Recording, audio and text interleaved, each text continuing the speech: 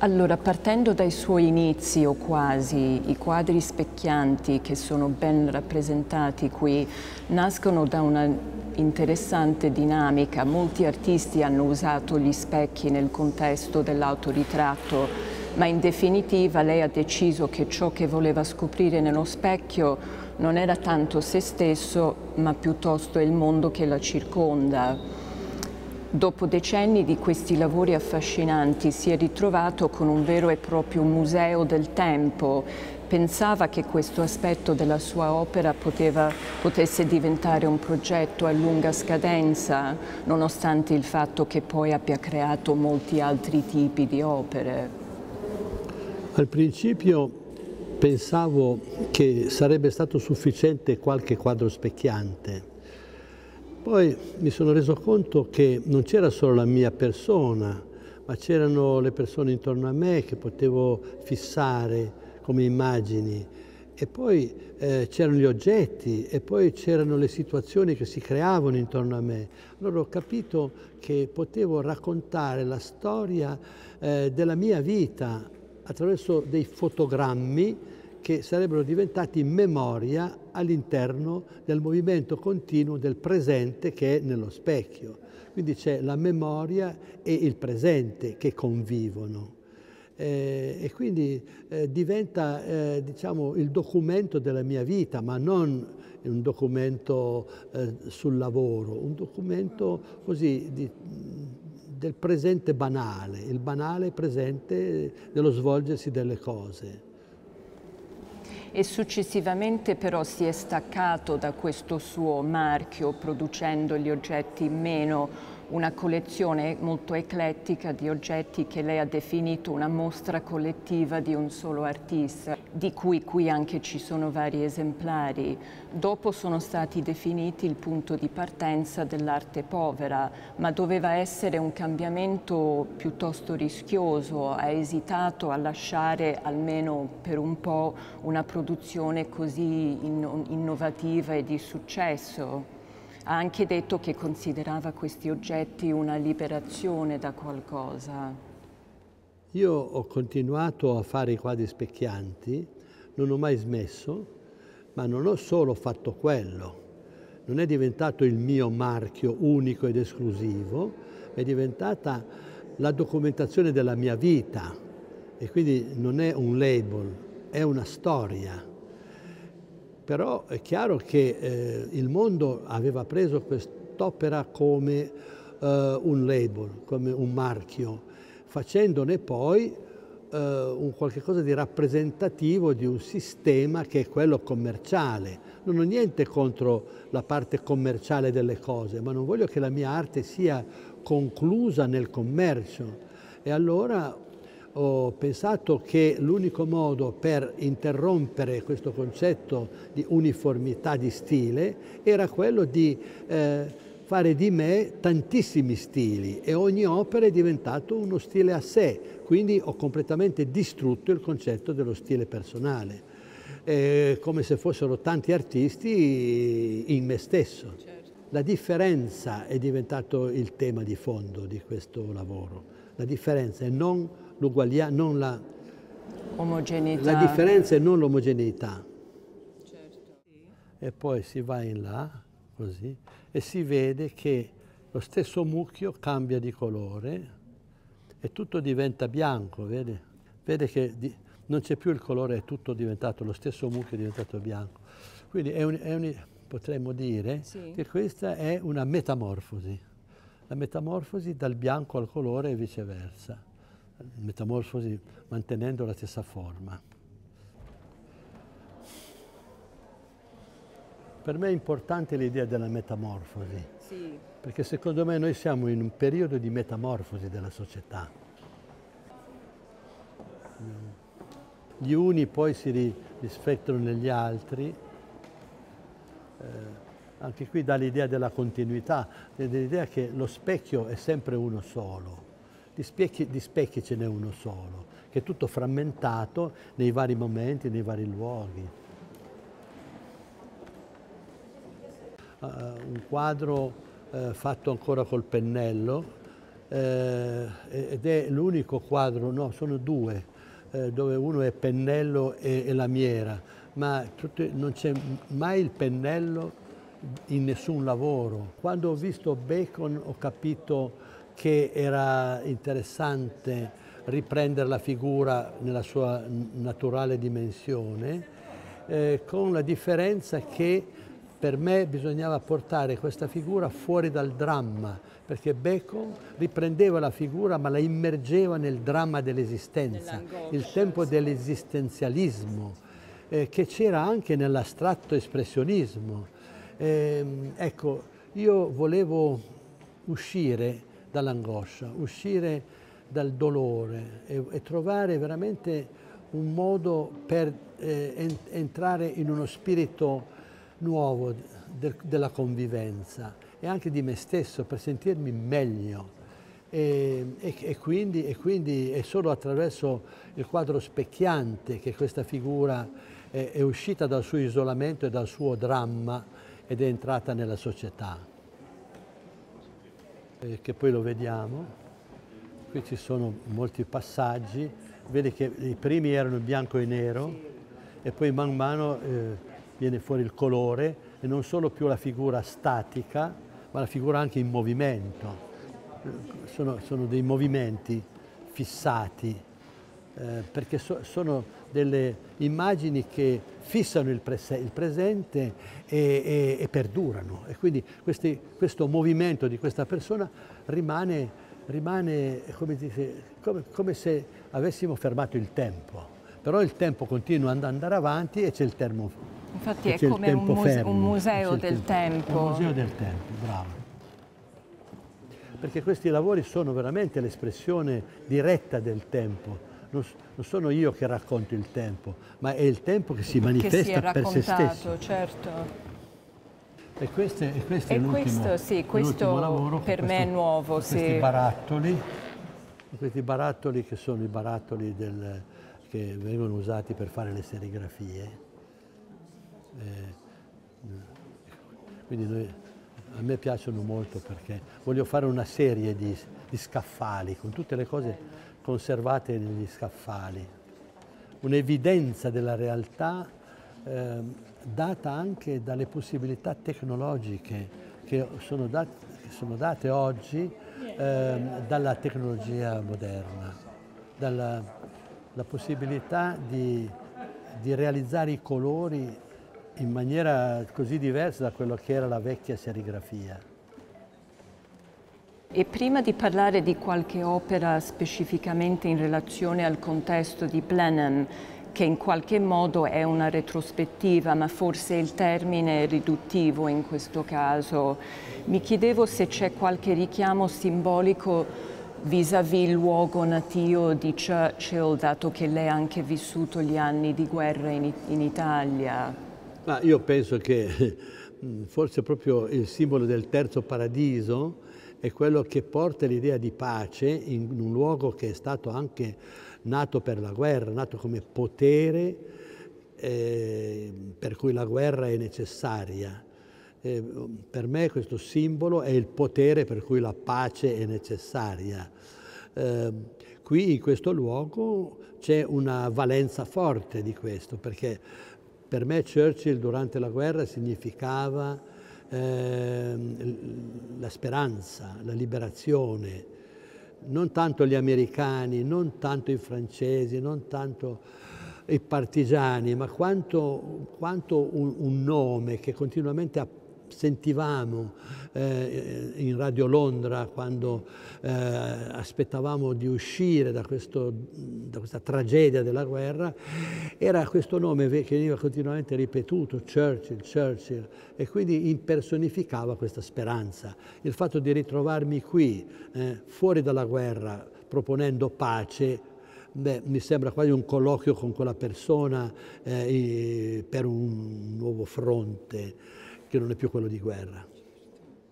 E per quanto riguarda lo spazio qui, che è proprio l'antitesi del cubo bianco, sono curiosa di sapere qualcosa della disposizione di alcune opere Per esempio interessante vedere la Venere degli Stracci nella cappella. In passato lei ha messo delle opere specchianti in alcuni spazi religiosi, per esempio l'arte assume la religione, ma l'intervento qui con la Venere è un altro commentario sul rapporto fra arte e religione. Non è un commentario diretto, ma chiaro, è chiaro che eh, anche nella religione c'è un'icona che attraversa la religione, c'è sempre un'icona ehm, per quello che è la nostra concezione di religione in senso figurativo.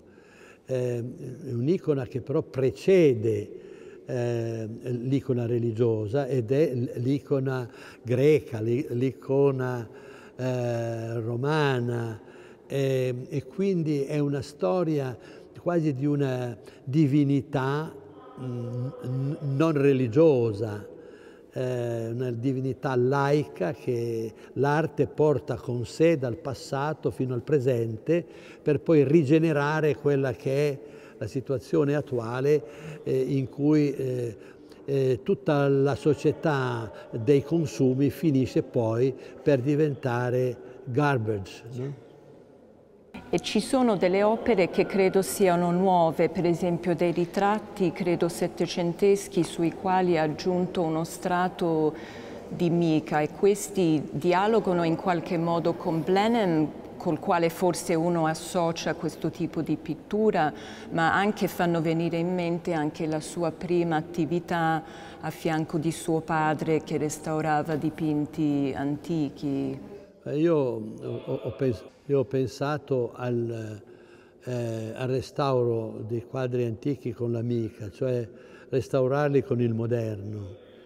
E, e, quindi questo è un materiale brillante che eh, piace, che soddisfa, dà, dà gioia. E qui dove ci sono molti ritratti antichi, ehm, portando questi ritratti invece eh, in parte coperti di mica, restaurati con la mica, è come se io intervenissi su tutti i ritratti che sono qui dentro. Quindi c'è un intervento diretto per cui la gente non sa se io sono intervenuto su qualcosa che era già qui oppure no, però c'è questa connessione per cui avrei potuto mettere l'amica ovunque. Insomma. Ha fatto tantissime versioni site-specific del suo continuo progetto del Terzo Paradiso in molte forme diverse, per esempio sabbia, pane, luce, persone e anche in alcuni luoghi straordinari come i panni di Caracalla e la piramide del Louvre. Come ha reagito nello specifico a Blenheim rispetto ad altri contesti? Qui è stato ripetuto eh, un terzo paradiso che era già stato al Louvre e è stato portato qui perché è uno dei lavori che ho fatto io con il terzo paradiso, ma il terzo paradiso poi viene reinterpretato da centinaia e migliaia di persone sono nate le ambasciate del Terzo Paradiso che sono in tutto il mondo, eh, che mm, chiedono appunto alla gente di, attraverso le ambasciate di intervenire, di agire nella trasformazione, nel cambiamento, di assumere una responsabilità eh, del cambiamento. E, e quindi questo, questo lavoro eh, qui è mio, ma, ma eh, il Terzo Paradiso viene poi rifatto e rifatto in mille maniere, con mille materie, con mille regioni, con mille regioni e mille ragioni. E qui ci sono anche varie opere di scultura, sia dentro che fuori. Ci sono dei classici come l'Etrusco che qui mette in scena lo slogan accarezzare gli alberi. Credo che di solito piazza questo lavoro davanti ad uno specchio e c'è anche un nuovo lavoro impressionante, Miraggio, disposto nella fontana della Water Terrace. Ci può dire qualcosa di questi lavori nuovi e ripensati e come si è relazionato agli esterni con lo sfondo di Capability Brown? Per me è molto importante considerare l'ecologia come un, una visione di responsabilità per il futuro, la sostenibilità è la base di tutto il progetto e quindi, e quindi l'etrusco che accarezza gli alberi vuol dire che la scienza, la tecnologia, eh, il bronzo nasce proprio per, per, fare le sculture, ma nasce anche per fare i cannoni e quindi che la tecnologia si metta ad accarezzare gli alberi vuol dire eh, il terzo paradiso, vuol dire eh, la connessione tra artificio e natura. Questo è quello che viene proposto in altra figurazione attraverso i, gli etruschi che accarezzano gli alberi, la, la stessa proposizione del simbolo del terzo paradiso. Eh, per quanto riguarda la vettura dentro alla fontana, questo è stato un mirage, un, eh, nel senso che um, visitando il luogo ho visto la fontana e mi è apparsa questa vettura dentro all'acqua, così come poi ho, ho realizzato.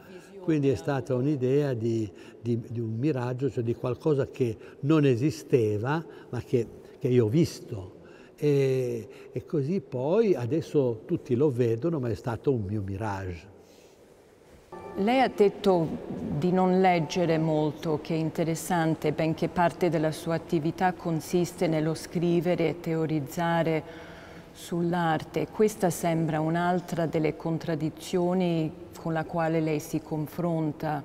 Quando ha cominciato a ragionare sull'arte moderna, credeva che dovesse creare le proprie idee piuttosto che reagire a quelle già esistenti?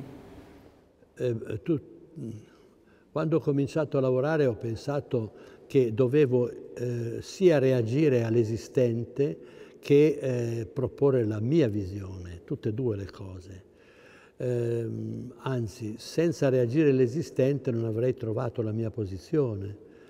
Eh, è per questo che cercando la mia identità ho trovato anche l'esistente, ciò che esiste intorno a me, nello specchio. E lei, cioè ne parlava poc'anzi, lei proponeva concetti di riciclaggio e sostenibilità decenni prima che diventassero de rigueur, appunto. E la Venere degli stracci è nata dai panni che lei usava per lucidare i quadri specchianti, come pure sono stati usati nelle performance della sua collettiva Zoo. Ma ritiene che questo aspetto dell'arte povera sia più necessaria che mai? Io penso che sia necessaria l'arte povera oggi come base, eh, come punto di partenza e non soltanto come punto d'arrivo, come lo è per molti artisti dell'arte povera. Per me è un punto di partenza ed è per questo che ho creato eh, la città dell'arte, la città dell'arte è il luogo dove gli artisti vengono, e non solo gli artisti, ma le persone di tutte le professioni vengono, per, mettere, eh, per fare un'esperienza di arte connessa con la società. E, e quindi se, se nell'arte povera c'era una visione, una, una posizione di tipo politico e sociale, quella viene poi fuori eh, con questa nuova attività che prosegue con la città dell'arte, con il terzo paradiso e con tutte le azioni e le interazioni con il sociale. Infatti uno degli aforismi che lei ha coniato è l'artista è sponsor del pensiero e lei ha una missione esplicitamente sociale nella sua arte, anche nella sua fondazione appunto Città dell'Arte. È ottimista per quel che riguarda la possibilità dell'arte di permeare e unire diversi aspetti dell'esistenza.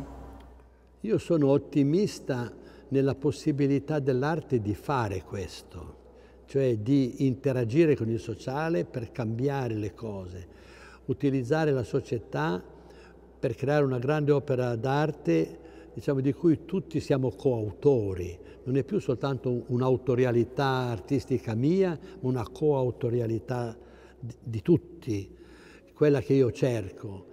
Io penso che la, fin dove si arriva eh, funziona, possiamo essere ottimisti. Eh, se poi le avversità eh, oppure le prospettive no, che non dipendono dall'arte, ma dipendono da altri fattori, portano altrove, questo non lo posso dire.